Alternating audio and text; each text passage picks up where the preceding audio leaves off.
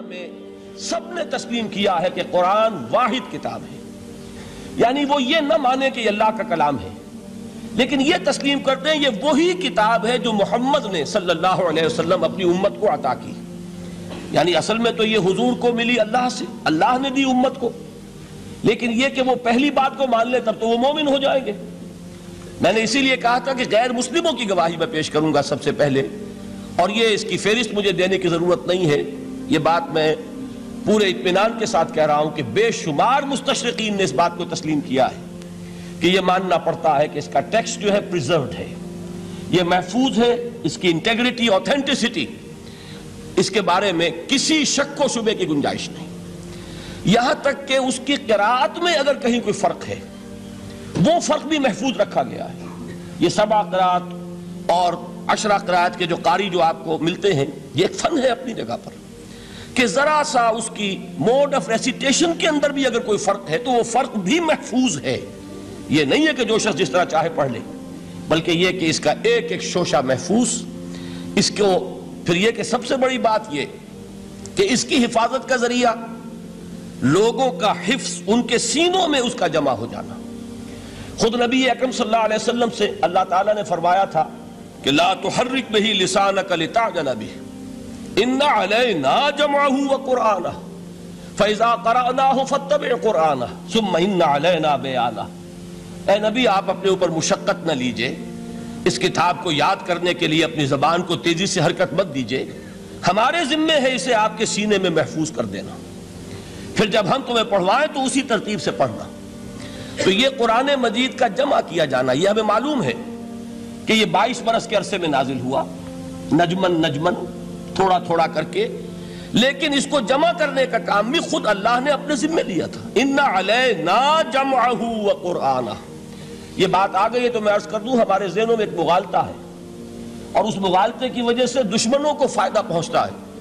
ہمارے ہاں عام طور پر چونکہ قافیہ ملانے کی کوشش ہوتی ہے، تو جمعہ کے خطبات میں حضرت عثمان رضی اللہ تعالیٰ عنہ کے نام کے ساتھ کہہ دیا جاتا ہے، جامع آیات القرآن۔ اب اس سے کہنے کا موقع ملے گا کسی کو کہ حضرت عثمان نے آیات قرآنی کو جمع کیا۔ یہ بہت بڑا مغالطہ ہے۔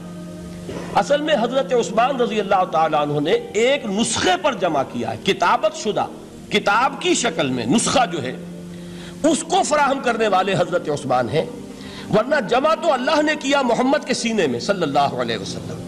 جمع قرآن کا معاملہ اللہ نے اپنے ذمے لیا۔ یہ خود حضور کے ذمے نہیں چھوڑا، نہ صحابہ کے ذمے چھوڑا۔ بلکہ یہ کہ انا علینا جمعہ و قرآن ہمارے ذمے ہے اس کو جمع کرنا اور پڑھوا دینا۔ پڑھوانا ظاہر بات ہے بغیر ترتیب کے ممکن نہیں۔ اور احادیث میں آپ نے سنا ہوگا کہ بارہا یہ بات آپ کے سامنے آئی ہوگی کہ حضور ہر رمضان مبارک میں قرآن مجید کا دور فرماتے تھے حضرت جبرائیل کے ساتھ۔ اور آخری رمضان مبارک جو تھا آپ کی حیات دنیاوی کا، اس میں دو مرتبہ پورے قرآن کا دور کیا ہے آپ نے حضرت جبرائیل کے ساتھ۔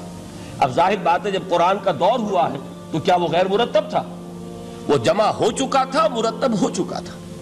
البتہ حضور کے سینے میں سب سے پہلے جمع کیا گیا۔ اور قرآن اولاً جو جمع ہوا ہے وہ صحابہ کے بھی سینوں میں جمع ہوا ہے۔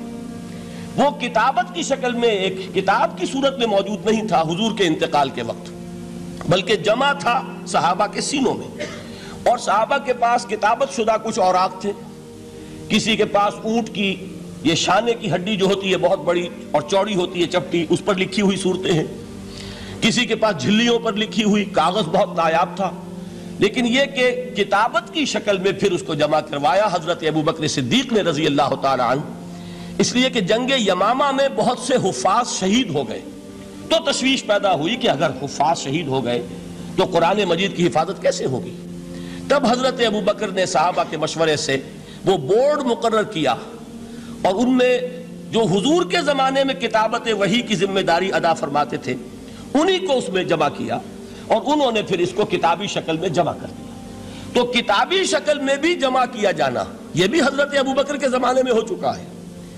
البتہ حضور نے ایک رعایت دی تھی، چونکہ آپ کو معلوم ہے، آپ اس علاقے میں رہتے ہیں کہ عربی زبان جیسے کہ ہر ہر زبان کا معاملہ ہے کہ ہر بڑی زبان میں پھر نیچے بولیاں ہوتی ہیں کولوکیل وہ جو کولوکیل جو بولیاں ہیں ان میں مختلف طریقے سے لوگ پڑھتے تھے۔ اس سے پھر یہ اندیشہ ہوا کہ یہ مختلف لہجے اگر رہے، تو اس سے بھی پھر قرآن کے بارے میں اختلاف ہو جائے گا۔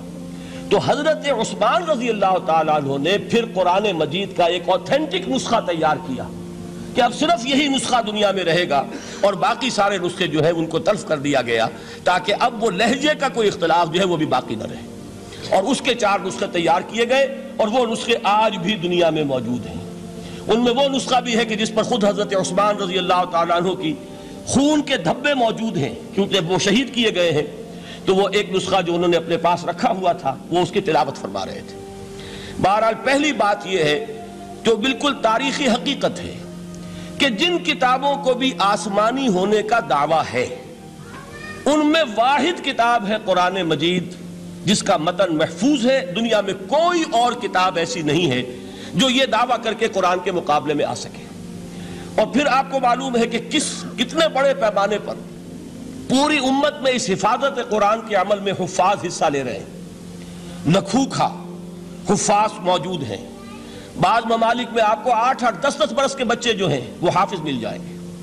کوئی دنیا میں اور کتاب نہیں ہے کہ جس کے حافظ موجود ہیں۔ بڑے بڑے علماء کی تصحیح کر دیتے ہیں آٹھ آٹھ سال کے بچے کہ یہ آپ غلط پڑھ رہے ہیں۔ اس کے اس طریقے سے ایک ایک شوشہ جو ہے وہ محفوظ کر لیا گیا ہے۔ تو یہ بات جو ہے، یہ قرآن مجید کی عظمت اور فضیلت کے ضمن میں پہلی حقیقت ہے کہ جسے ہمیں سامنے رکھنا چاہیے۔ اور اس حقیقت کے ادراک و شعور کے لیے قرآن پر ایمان لازم نہیں ہے، بلکہ یہ وہ بات ہے کہ جس کا اعتراف ہر شخص کرے گا، خواہ وہ قرآن کو اللہ کا کلام مانتا ہو یا نہ مانتا۔